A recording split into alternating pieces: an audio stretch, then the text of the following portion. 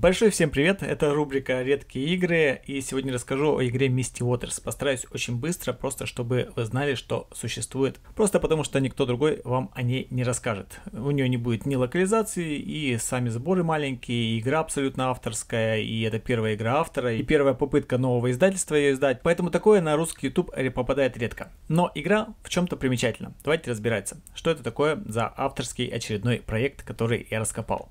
Вообще, это э, игра в очень очень сложном и редком жанре песочницы, про который я рассказывал на канале, который меня интересует, э, и отсылаю опять же к топ-10 игр в жанре песочница. А и вот э, добавится еще одна, а, причем довольно неплохая на первый взгляд. А, это, к сожалению, здесь избитый сеттинг пиратских морей. Вы находитесь в океане, э, управляете кораблями и играете в разных режимах. Есть и соло-режим с автомой, есть кооперативный и и конкурентный режим на двух игроков, а, и а, конкурентный режим на трех игроков, и а, и даже если у вас наберется 4 игрока, то можно еще и, и в альянсе поиграть.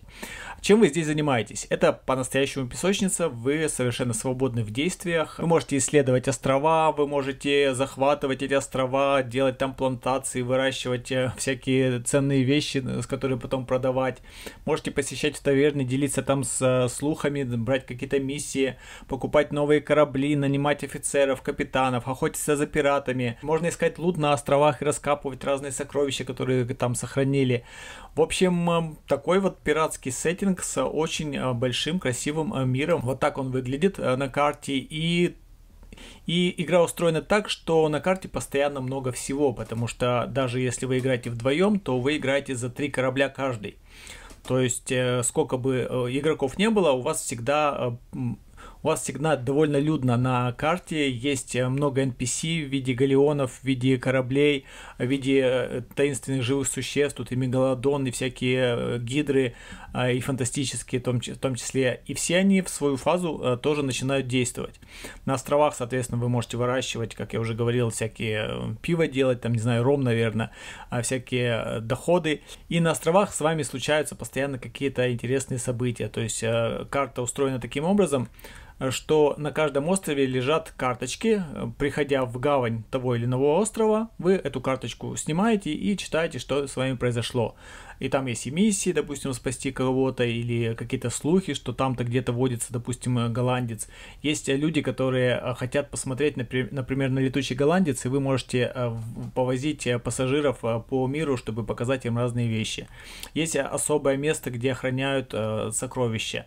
Кроме этого, есть очень интересное поведение ветра, которое очень многоуровневое, и в зависимости от состояния погоды тоже меняется и ваша скорость, и ваши возможности, и все подобное огромное количество видов кораблей с разными параметрами, и вы можете их всех покупать и э, довольно большим количеством двигаться по, э, по миру этой игры.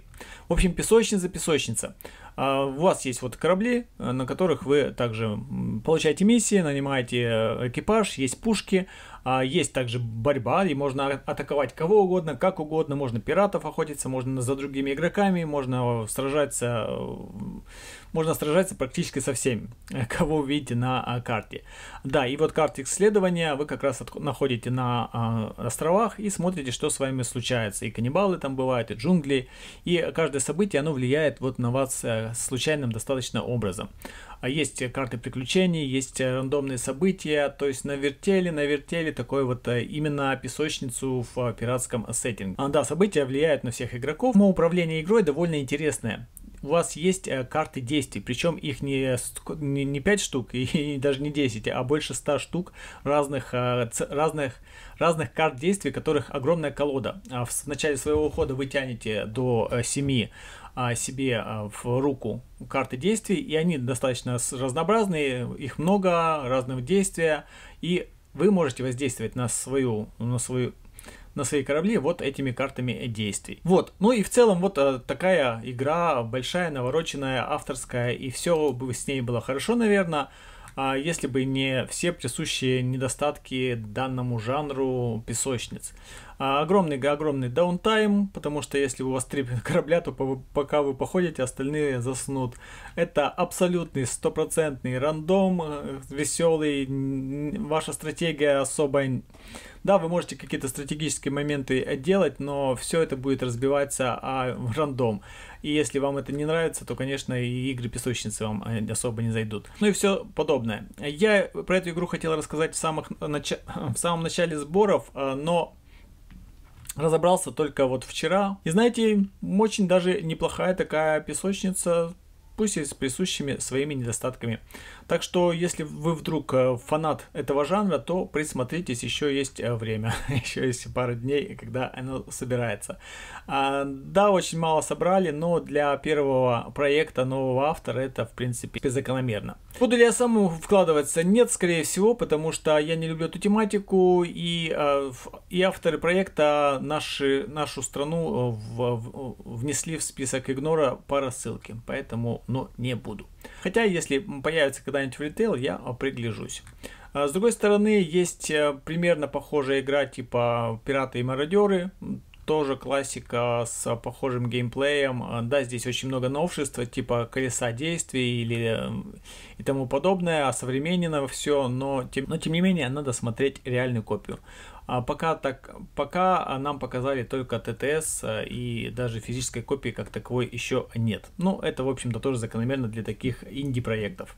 А моя задача э, просто рассказать вам об этом о проекте, про который ну, сложно узнать э, на русском ютубе, да и на английском тоже почти нет никаких э, видео а игра не менее достойна, чем те, которых хайпят, э, чем те, которые, которых форсят.